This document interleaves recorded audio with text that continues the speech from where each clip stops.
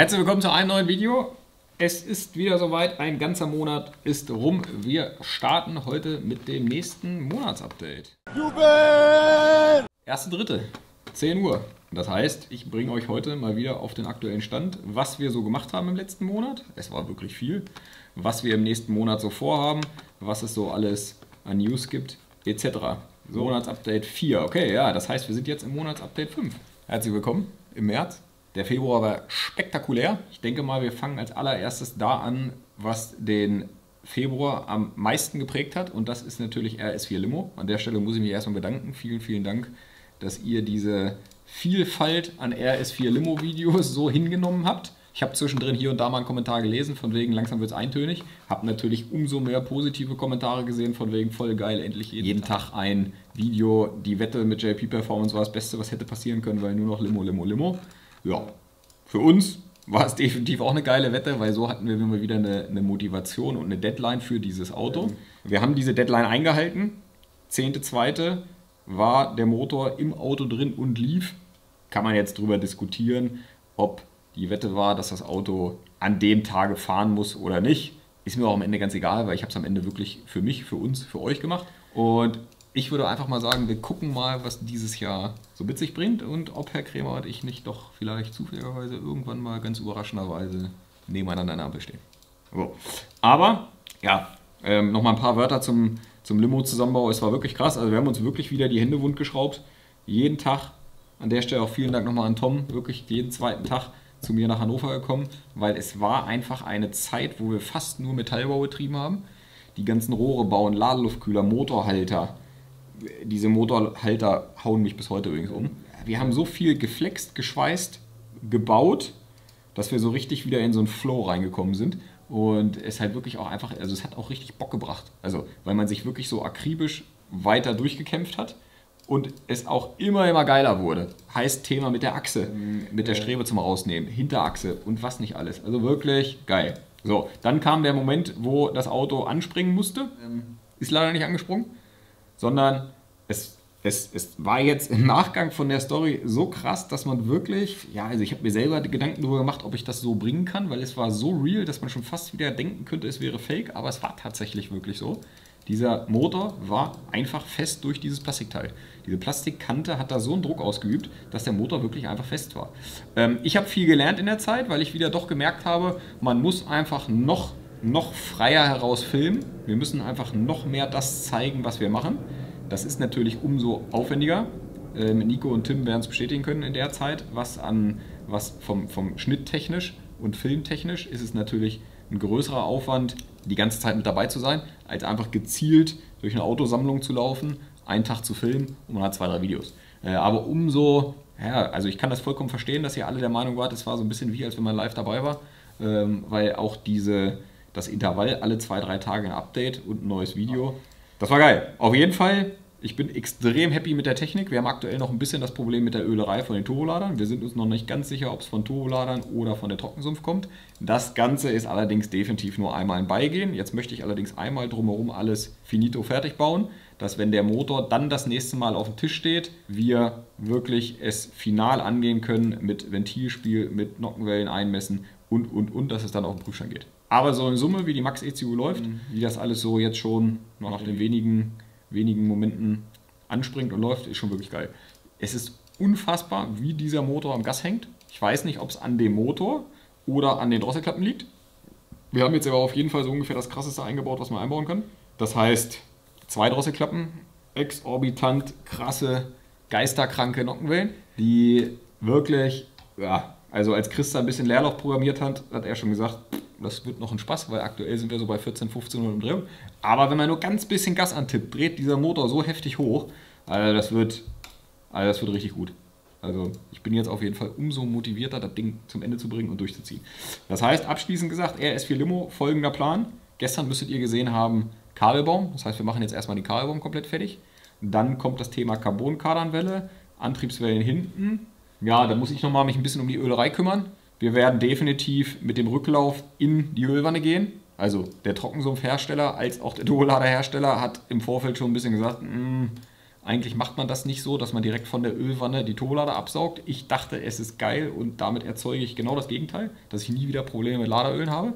Äh, wir müssen es aber definitiv anders machen, sondern wie es serienmäßig auch ist. Turbolader laufen in die Ölwanne rein und der, die Pumpe saugt in Summe einfach alles ab. So muss ich das nochmal umbauen. Ja, und dann geht es auch schon zu Olaf, Hermann Motorenentwicklung, Motorprüfstand. Das ziehen wir definitiv durch. Und dann geht es da weiter. Also da jetzt Elektrik, dann nochmal zwischendurch ein bisschen Mechanik. Und dann Thema äh, Zahnriemen, dass der so unrund läuft, gucken wir uns auch nochmal an. Musste ich so ein, zwei Sachen bestellen, damit wir euch da ein cooles Video machen können. Äh, das kommt aber auch nächste Woche. So, also da geht es auf jeden Fall weiter. Zeitgleich, achso, äh, erste Event aktuell in Planung für die Leute, die sich schon mal vermerken wollen. Wir wollen mit der Limo auf dem Race 1000 fahren in Berlin. Das ist im Mai. Weil, kommt das große Weil, normalerweise bin ich ein Fan vom Lausitzring, DK-Oval. Da ist am 22.04. das TTT Half Mile, beides halbe Meile-Veranstaltungen. Mhm. Wir wollen aber lieber im April noch einmal mit Marius Golf angreifen. Finde ich einfach extrem geil, wie die Leute, also ihr, dieses Auto mit der Plane bei uns im Ladenverkauf seht und nicht drauf kommt, dass das Marius Golf ist. Also ich habe schon Kommentare gelesen, was ist das für ein SUV unter der Plane? Also klar, weil das Ding halt so hoch steht. Aber ich meine, es weiß ja jeder, dass das Ding da steht, deswegen, ich finde es einfach amüsant. Ja, auf jeden Fall, da sind wir auch gerade am Kabelbaum bauen. Ähm, noch ein paar Kleinigkeiten, Tank. Ach ja, genau, Tank bei Limo auch noch so eine Sache. Nochmal einmal zu Subi wegen Motor. Äh, das heißt, aktueller Plan ist 22.04. mit Marius Golf. Wir können immer nur mit einem Event zum Auto, sonst wird es definitiv. Äh? Fährst du einem Event zum Auto? Habe ich schon wieder falsch rum geredet? Mit, mit, äh, mit einem Event zum Auto. Achso, ja, ich fahre nur mit einem Event zum Auto, genau, ja. Nein, wir können nur mit einem Auto zum Event, weil sonst ist das Ganze wieder zu viel und es kann kein Erfolg werden. Deswegen 22.04. Marius Golf, volle Power da rein, da fahren, Software machen von Lauf zu Lauf, Heizdecken, dies, das, jenes. Mitte Mai Race 1000 mit Limo fahren. So ist der Plan. Das heißt, da könnt ihr euch auch drauf freuen, dass es ein bisschen Golf 2 Technik definitiv auch gibt. So, ich wollte gerade zählen, wie viele Limo-Videos haben wir eigentlich geschafft im Februar. Ich gucke hier noch einmal. Wir haben geschafft 1, 2, 3, 4, 5, 6, 7, 8, 9, 9 Limo-Videos. Das war natürlich, hat mir Spaß gemacht. Also muss ich ganz ehrlich sagen, war eine coole Zeit. Äh, würde ich gerne immer so machen, weil man hat halt auch richtig was geschafft. Dann, äh, ja, wir waren bei, bei Friedrich, bei Prinz Pi in Berlin. Auch übelst cool. Johnny, unser neuer Kameramann, hat gefilmt. Das war in Ordnung oder nicht? ähm, war top. Also ich fand's top. Ich fand's ein cooles Video. War auch ein cooles Gespräch, so auf einer coolen Ebene. Weil es einfach, wir beide waren beide, also ich und Friedrich, so, ja, jeder fährt so seinen Film und die beiden Filme kreuzen sich dann irgendwo. Und an, diesem Kreuz, an dieser Kreuzung stand, stand Joni hat gefilmt. Äh, nee, sowas können wir auch häufiger machen. Ich persönlich hätte sogar gedacht, dass es schlechter ankommt, weil es halt einfach nicht nichts mit Autos zu tun hat. Äh, deswegen bin ich aber auch umso dankbarer dafür, dass ihr das so aufgenommen habt und es auch tatsächlich so geguckt habt. Äh, das heißt, da können wir jetzt in Zukunft definitiv auch mehr machen, dass wir nicht nur Technik bringen, sondern auch Persönlichkeiten vorstellen, die irgendwas mit Technik zu tun haben. Weil ich glaube, das ist definitiv eins meiner Stärken, aus diesen Personen im Laufe eines Gespräches wirklich so ihre ihre Leidenschaften rauszukitzeln und einfach euch das Gefühl zu geben, wenn ihr so ein Video guckt, dass genau die Fragen, die ich stelle, eigentlich genau das ist, was ihr euch in dem Moment im Kopf fragt und euch überlegt, Alter, hat er das jetzt echt gerade gefragt? Weil äh, genau die Frage hatte ich in dem Moment so, ne? Leute können ja nochmal in die Kommentare schreiben, wenn sie A, seine Musikanlage zu Hause sehen wollen, die nochmal ganz anderes Level ist als da, und B, die Kaffeemaschine, was ja auch gut zu dir passt, die auch nicht von dieser Welt ist. Äh, genau, also Joni sagt gerade zwei Punkte. Friedrich hat natürlich zu Hause noch umso eine krassere Oldschool-Anlage als auch eine, eine Kaffeemaschine. Da wird selbst Andi neidisch, äh, weil das Ding ist schon krass zurecht gemacht. Da fällt mir auch gerade ein, da muss ich mal in die Kommentare gucken, weil ich hatte ja gesagt, 15.3. ist, ist er auf Tournee in Hannover, im Kapitol. Und dass wir da, ich glaube, die besten drei Kommentare mitnehmen. Also da muss ich gleich mal gucken, wer von euch da gewonnen hat. Also da tut sich unter dem Video noch was. Ja, ja, sonst so ein bisschen, wir haben noch so eine Zahnriemenreparatur gemacht, wir haben Tim unter die Arme gegriffen, auch extrem geil, weil ja, Flo einfach eine Koryphäe, wenn es um solche, ich sag jetzt mal vorsichtig gesagt, Reparaturen geht, ist ja immer motiviert. So, verpiss dich mit der Bimmel hier. Und da war dieser Vektor einfach perfekt für. Also geil. So, das Ding läuft wieder, läuft übrigens auch bis heute. Alles richtig gemacht. Das war der Februar. Jetzt eine Sache, Die spoilere ich jetzt einmal schon mal ganz kurz an. Ich wollte nämlich eigentlich was zum Thema Halle sagen. Da ist leider, da gibt es eine Nachricht, die ist nicht ganz so cool. Ich kann da allerdings noch nicht mehr zu sagen, weil ich mich da rechtlich einmal absichern muss. Ähm, da könnt ihr euch aber auch auf ein Video freuen, die Tage. Ja, es hat einen Grund, warum das alles ein bisschen länger dauert. Ich sag's mal so vorsichtig. Also da äh, kriegt ihr ein Update die Tage auf jeden Fall. Jetzt gehen wir mal in das Video rein und gucken einfach mal, was da eigentlich an Kommentaren so stand. 511 Kommentare. Das kann ja schon wieder, das kann ja schon wieder was werden. So, Top-Kommentar. Mich, mich beeindruckt immer wieder, wie akribisch ihr eure Projekte angeht. Kein anderer Channel nimmt von der Technikseite so mit. Ja, ich will nicht sagen, begeistert mich auch immer wieder. Also es ist so ein bisschen wie so eine Krankheit geworden, dass wir halt wirklich einfach. Ich habe es wieder jetzt gemerkt bei Limo. Wenn ich ehrlich bin, eigentlich war es mir am Ende egal, ob das Auto läuft oder nicht läuft, ob ich eine Wette gewinne oder nicht, sondern ich finde diesen Weg, dieses Bauen, dieses abends im Bett zu liegen, eine Instagram-Story zu machen, was man gerade gebaut hat und man guckt auf etwas drauf, was es so nicht gibt, aber es technisch gesehen so geil ist, es so hochwertig ist, dass man einfach stolz drauf sein kann, weil es ist nicht so, dass wir hier was weiß ich was machen, sondern wir sind einfach nur motiviert, engagiert und haben einfach einen, einen Plan und verfolgen diesen Plan so lange, bis halt einfach passt. Und das machen wir halt bei allen Fahrzeugen und deswegen glaube ich, werden die Autos auch einfach so gut. Das war es dann auch schon. Kleine Idee zur Limo. Wie wäre es, wenn du zum ersten Rollout-Test auf der Limo alle Leute einlässt, die in den letzten Jahren dir Wiederaufbau geholfen haben? Extrem geil. Wird es auch genauso geben. Ich denke da allerdings eher über so ein, so ein Talk-Runden-Format, wo wir wirklich alle zusammen vor diesem Auto sitzen. Muss ja nicht unbedingt beim Rollout sein, sondern kann auch sein, dass das Auto fertig ist. Und wirklich von Null an, sei es ein Alexander Schwan, sei es Artyom, Chris der Lackierer, alle zusammen, wir so nochmal diese Geschichte von dem Auto durchgehen. Finde ich auf jeden Fall auch eine coole Sache. Bergrennen und Rallye-Events wären definitiv interessant. Ähm, bin ich komplett raus aus dem Thema, war auch nur deswegen einmal bei einem Bergrennen wegen, wegen Niki. Müsste ich mich mal drum kümmern. Problem ist, ich weiß, in Osnabrück gibt es ein ultra krasses Bergrennen immer und die Bergrennen fallen vom Datum her leider immer auf Events, wo wir eh schon am Fahren sind. Und wir können dann leider nicht ein Race 1000 oder ein TTT ausfallen lassen, damit wir zum Bergcup kommen. Aber definitiv, ich habe gerade für eine Arbeit, kann ich schon mal spoilern, einen Satz Slicks eigentlich aus dem Bergrennen gekauft. Das heißt eine ganz, ganz, ganz weiche Mischung, weil jeder, der bei einem Bergrennen schon mal war, hat mitbekommen, dass man dort die Reifen nicht warm fahren kann, sondern man steht am Start und knallt direkt den Berg hoch. Ähm, und deswegen fahren die extra weiche Mischung. Und das ist das nächste, was ich am Arbeit mal testen will, ist die, äh, eine weiche Mischung. Mag sein, dass die dann irgendwann zu heiß wird, aber lieber komme ich an den Punkt, dass ein Slick zu heiß wird, als dass ich die Slicks immer nicht warm bekomme. Da sind wir auch beim Thema Arbeit. Da ist definitiv im März, äh, im Februar rein gar nichts passiert. Da werde ich aber nächste Woche wieder mit starten. Also im März kommt definitiv wieder ein bisschen Arbeit-Content. Thema Bremse, äh, Thema Reifen samt Temperatur. Bilster Berg ist am 18.03. wieder. Ähm, also da wird auf jeden Fall ein bisschen was, bisschen was kommen.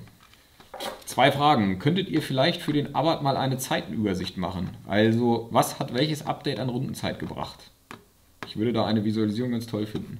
An sich cool, ist auch gar nicht so aufwendig. Praktisch kann man sich aber eigentlich die Videos durchgucken.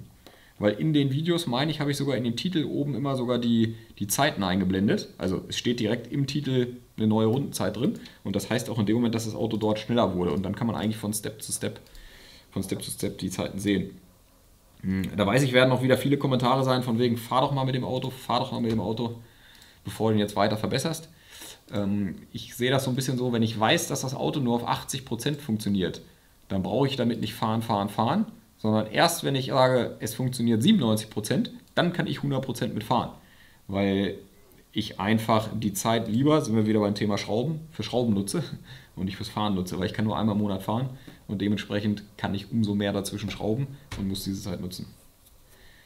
Dann stelle ich doch tatsächlich mal eine Frage. Wie viele Stunden schläfst du durchschnittlich? Viele von euch denken definitiv, dass ich weniger schlafe. Ich schlafe eigentlich relativ viel. Also ich gehe normalerweise zwischen 12 und 1 ins Bett und stehe zwischen 7 und 8 auf. Je nachdem, wie Fritz so motiviert ist zu schlafen. Der große Unterschied ist nur immer, ich bin wirklich eigentlich nie zu Hause. Also ich bin nur zum Schlafen zu Hause. Das heißt, die Zeit, die ich dann zu Hause bin, nutze ich auch zum Schlafen. Aber so 6, 7 Stunden schlafe ich schon auf jeden Fall. Mich würde mal interessieren, ob die Trockensumpf mehr Verlustleistung bringt als die Originale. Macht weiter so. Gute Frage. Olaf, Hermann Motorenentwicklung. Die Frage merken wir uns, die werden wir ihm definitiv stellen, wenn wir da sind. Also ich weiß, bei einem Porsche bringt sie sogar Leistung.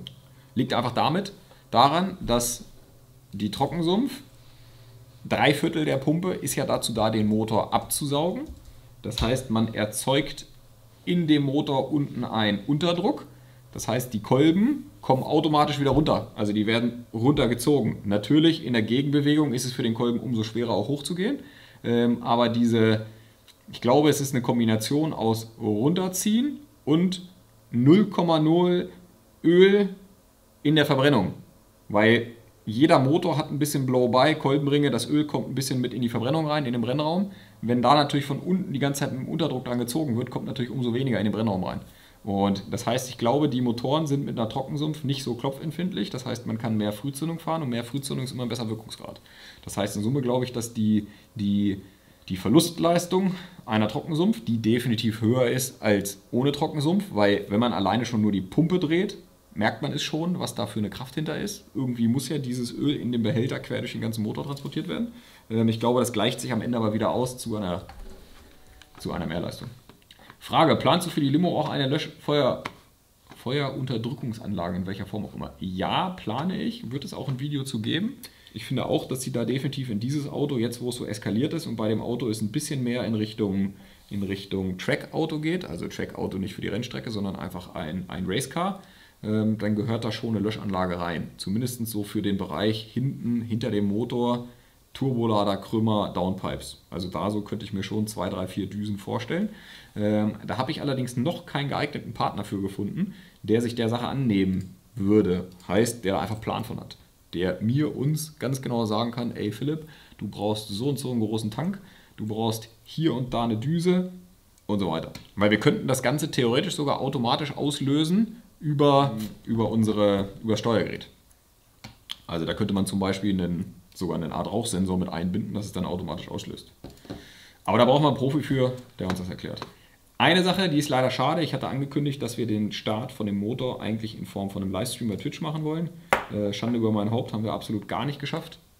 0,0. Ich konnte noch nicht mal das Streaming-Setup aufbauen, weil es dann wirklich der Endspurt des Zusammenbaus war so saftig, dass wirklich jede Minute, die zwischen zwischen Kind, Frau und Firma noch übergeblieben ist, wirklich fürs Schrauben genutzt wurde. Aber da können wir auf jeden Fall, da können wir auf jeden Fall noch dran arbeiten und da wird auf jeden Fall noch was kommen. Ja, also wir müssen auf jeden Fall leider, also ihr müsst auf jeden Fall bitte ein bisschen an euren Frauen, Frauen, Frauen arbeiten. Ihr müsst ein bisschen an euren Fragen arbeiten, weil es sind mir definitiv noch zu wenig Fragen da. Also haut mal unter dieses Video bitte wirklich so ein paar richtig saftige Dinger rein. Alles querbeet. Äh, wirklich, wirklich komplett Fragen. Haut einfach raus. Es ist eine Frage, ihr habt nichts zu verlieren. Äh, ich würde gerne darauf eingehen, aber ich bin jetzt hier bestimmt schon bei 200, 300. Und so richtig Fragen, ehrlich gesagt, finde ich hier nicht. Wird es in Zukunft hier auf dem Kanal im Mitgliederbereich noch Content geben? An der Stelle erstmal vielen, vielen Dank an meine treuen Kanalmitglieder. Das sind immer die, die hinter dem Logo ein buntes M haben. Je nach der Farbe, so lange sind sie schon Kanalmitglied. Ähm, es ist tatsächlich möglich, auch diese User für, ihr, für ihre Mitgliedschaft zu belohnen. Und habe ich bisher vernachlässigt, aber ist ein guter Punkt. Ich werde mir im März mal was einfallen lassen. Also wenn ihr unter den Kanalmitgliedern seid, irgendwann werdet ihr YouTube aufklappen und werdet auf einmal sehen, okay, da ist was für uns. Weiß noch nicht was, Vielleicht lade ich euch ein, vielleicht dürft ihr an einem Event teilnehmen, ähm, vielleicht, oh, das wäre krass. Das müsste ich allerdings planen können. Könnt ihr ja mal auch in Hannover auf dem Messegelände mit ein, zwei Autos zusammen vielleicht was machen. Ah, gucken. Ich lasse das einfallen. Ihr werdet das auf jeden Fall in eurem Kanalmitgliedsbereich dann sehen. Aber an der Stelle schon mal vielen Dank für den Support auf jeden Fall. Und denkt dran, Fragen, Fragen, Fragen, Fragen. Und dann nochmal eine Frage und noch eine Frage und noch eine Frage. PZ Tuning Community Day. Ja, ich werde beim PZ Tuning Community am Start sein, weil am nächsten Tag nämlich auf dem Lausitzring auch noch das Grip-Event ist. Das heißt, ich werde von Paule zum Grip-Event fahren und freue mich auf alle Simson-Gestörten Deutschlands, weil das, Alter, die Bilder von diesem Community Day, da muss ich einfach einmal live mit dabei sein. Das ist ja abartig, was abgeht. Jeder, der mal mit ähm, ganz viele Fragen immer, wann können wir mal mit dem Arbeit zusammen auf der Rennstrecke fahren. Gibt immer wieder Track Days pro Jahr, wo ich euch sage, hier, da bin ich. Und dann könnt ihr euch jederzeit entweder als Zuschauer oder als Fahrer mit einbuchen. Und da ist die aller, allererste Chance im Mai in Oschersleben, einer meiner Lieblingsstrecken, weil sie immerhin so den Ansatz von, von bisschen Highspeed hat. werden sich jetzt einige drüber totlachen, aber wenn man sonst viel Bilzer Bergfahrt fährt, ist es schon mal ganz geil, dass man in Oschersleben mal so richtig über die Curbs rüber nageln kann. Äh, ich würde jetzt mal aus dem Bau raus sagen, nagelt mich aber nicht fest. Fünfte, fünfte. Ist fünfte, fünfte? Äh, fünfte, fünfte Polybauer, das ist der Veranstalter, ist ein Trackday in Oschersleben. Siebte, fünfte ist in Oschersleben ähm, Grip das Motor-Event, wo wir natürlich auch am Start sind. Sehr praktisch, Alter. Dann kann ich am 5.5. die Autos mal hinfahren und tatsächlich da lassen. Ne? Cool. Also, wer Bock hat, aber zu sehen auf der Strecke, die beiden Daten im Mai, kann ich euch schon mal sagen, wo auf jeden Fall was geht. Wie schafft man das eigentlich? So viele Projekte, Firmen unter sich, zu den Frauen und Kinder. Gehört jede Menge Disziplin auf jeden Fall dazu und auch jede Menge Absprache und einfach unnötiges Weglassen. Also unnötiges Weglassen heißt in alle Richtungen. Ja. Keinen unnötigen Stress zwischen Frau und Mann, keinen unnötigen Stress zwischen Kumpels. Einfach nur machen, machen, machen und jeden Tag aufs Neue 100% geben, dann klappt das auch. Aber klar, viel Freizeit ist da halt definitiv nicht. Und Zeitmanage. Heißt, wenn man im Auto irgendwo hinfährt, die Zeit nutzen für äh, Telefonate, E-Mails und so weiter und halt wirklich möglichst wenig Leerlauf dazwischen haben. Ich finde die Turbolade, also ich finde die Turbolampe in der Fensterbank echt geil. Äh, ja, das war ein Geschenk von HG Motorsport. Ich weiß gar nicht, ob es sie bei HG Motorsport zu kaufen gibt. Moin Philipp, wird er aber noch eine Runde auf der Lasisee machen. äh, haben wir schon etliche Male darüber gesprochen, wird definitiv kommen. Letztes Jahr wollte ich nicht, also was heißt wollte ich nicht? Das Auto war ja erst letztes Jahr, vorsichtig gesagt, im August fertig. Das heißt, wir hatten ja eh nur August, September, Oktober. Ähm, da habe ich einfach gesagt, nee, das ist noch zu früh. Das Auto kann mehr. Und dieses mehr können werde ich jetzt März, April, Mai nochmal rauskitzeln. Und dann könnt ihr euch definitiv auch über See freuen. Natürlich werde ich da keine Zeit fahren, sondern Jean-Pierre wird die Zeit, wenn er natürlich selber fahren. Ne? Ja, Traktorpulling. Ähm, Wäre ich liebend gerne zu, zu meinem Team, meinem Team, wo ich die Vorstellung gemacht hatte, ähm, hingefahren in, in Füchtorf. Ich kann es aber nicht aussprechen. Ich glaube, ich muss noch mal einen Deutschkurs machen, Alter. Füchtorf, genau. Füchtorfer Traktorpulling. Füchtorf. Füchtorf. So, jetzt habe ich es. Ähm, das war leider wieder genau an einem Datum, wo wir schon wieder ein anderes Event haben. Es sind einfach leider zu viele Events immer. Ich glaube, es liegt einfach daran, weil diese ganzen Events von Ende April bis Anfang Oktober sind und es bleibt am Ende einfach keine, äh, keine Zeit dazwischen. Weil es ist kein Spaß. Ähm, immer wenn ich wenn ich mit, mit, mit äh, RTL 2 mit Grip Rücksprache halte für irgendwelche Drehtermine, für irgendwelche Grip-Folgen, ist es tatsächlich immer so, dass ganz viele das Problem haben, dass sie unter der Woche nicht können. Bei mir ist immer eher das Problem, dass ich unter der Woche eigentlich immer kann, ähm, nur die ganzen Wochenenden das ganze Jahr lang voll sind. Also es ist wirklich von jetzt bis Oktober jedes Wochenende eigentlich irgendwie Wind. Und so ist es hier leider auch. Was hältst du denn davon, den Motor im Pace Museum auszustellen? Mit so einem Erklärvideo. Feiere ich komplett, weil für mich es tat wirklich weh, diesen Motor einzubauen, weil es ist ausgebaut einfach ein Kunstwerk mit dieser Achse auf diesem Rollwagen, diese ganzen Details, die man eingebaut nicht sieht. Eingebaut sieht es aus wie ein GTR-Motor, ausgebaut sieht es einfach aus wie, wie, keine Ahnung, wie so ein alter Formel-1-Motor, der da einfach steht. Deswegen die Idee, den Motor ausgebaut dahinzustellen, finde ich schon sehr geil. Jetzt zur Sekunde ist da natürlich keine Zeit für, weil wir wollen natürlich weitermachen. Äh, das heißt, wenn, dann könnte man das vielleicht mal für einen für den Winter vornehmen. Vielleicht irgendwie in Kombination mit einer Essen Motorshow oder so. Mal gucken. Idee finde ich aber cool. Ja, dann, ich hatte ja im letzten Video ein bisschen drüber gesprochen, wie krass es war, dass, dass die Leute wirklich von weit her zur Essen Motorshow gefahren sind. Ja, viele Kommentare von wo aus die da hingefahren sind, Südtirol nach Essen. Immer wieder cool, dass die Leute so motiviert sind für die Essen Motorshow. Extrem witzig, lese ich ja auch nämlich gerade wieder. Gab ja riesen Diskussionen, dass die Variante mit meinen starren Motorhaltern nicht funktionieren wird. Was ich alles gelesen habe, was alles kaputt gehen wird, der ganze Block wird brechen und so weiter. Ich hatte einfach die ganze Zeit schon das Gefühl, dass das richtig ist. Und umso mehr hat es mich natürlich bestätigt, dass wir bei Dirk waren und beim TCR Golf serienmäßig Motor, Getriebe, Drehmomentstütze einfach 3 mm Stahl starr auf der Karosse drauf ist. Das heißt, bei einem Rennwagen will man es sogar so, dass der Motor da starr genau in dieser Position sitzt und einfach am besten an dem ganzen Auto alles starr ist und einfach nichts irgendwo hin kann. Dass es einfach genau das macht, wie es beim, beim äh, Zusammenschrauben vorgesehen ist. Äh, deswegen äh, freue ich mich umso mehr drauf, wie das Ganze am Ende ist. Natürlich, man merkt so schon, es wird alles vibrieren, es wird alles laut werden, aber das ist halt einfach ein Rennauto. Ne? Wäre es, mal, wäre es eine Idee für den Arbeit mal testweise 100 Kilo Gewicht reinzubauen? würde auf den Geraden natürlich langsamer werden, in den Kurven dafür umso schneller. Sicherer. Schneller und sicherer. Mm, da lernen wir in diesem Monat eine Person kennen, die sowas ziemlich gut berechnen kann. Mit dem habe ich da auch schon drüber philosophiert. Und meistens ist es tatsächlich so, dass man mit, es gibt manche Autos, wo man zum Beispiel mit einem vollen Tank oder einem Beifahrer auf einmal schneller ist als ohne. Das liegt dann aber daran, dass das Auto in dem Moment einfach mit dem Zusatzgewicht sicherer fährt. Und durch diese Sicherheit hat man mehr Vertrauen und traut sich einfach mehr. Es ist eigentlich nicht machbar, dass ein schwereres Auto am Ende schneller ist. Weil dieses Zusatzgewicht, was im Auto irgendwo drin ist, egal wo es ist, äh, muss am Ende auch erstmal definitiv um den Kurs bewegt werden. Also die einzige Möglichkeit, wie so ein Zusatzgewicht Sinn machen könnte, habe ich schon oft drüber nachgedacht, ist in Amerika, die ganzen Frontantriebautos bauen sich wirklich vor die Vorderachse eine Stahlplatte. Aber nicht eine kleine Stahlplatte, sondern eine richtige Stahlplatte. Ich habe wirklich Bilder gesehen, 3-4 cm Stahlplatten haben die vor der Vorderachse. Dass da Thema Hebel eine Wirkung spielt. Dass durch die Hebelwirkung das Zusatzgewicht mehr Traktion erzeugt, als dass es Verluste erzeugt.